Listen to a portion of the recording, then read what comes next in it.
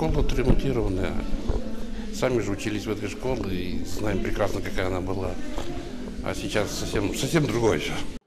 Школе более полувека, и капремонт здесь не делали никогда. Ее закрыли после предписания прокуратуры.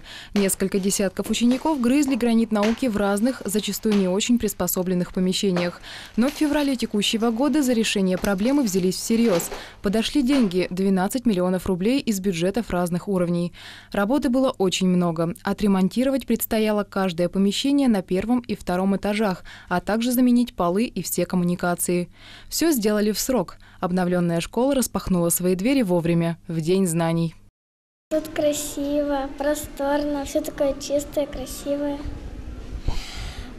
Потому что тут много, много кабинетов. Ну, и не тесно, да. Обещают все нам новую аппаратуру поставить, новые компьютеры, экран уже установили, так что будем не отставать от городских школ.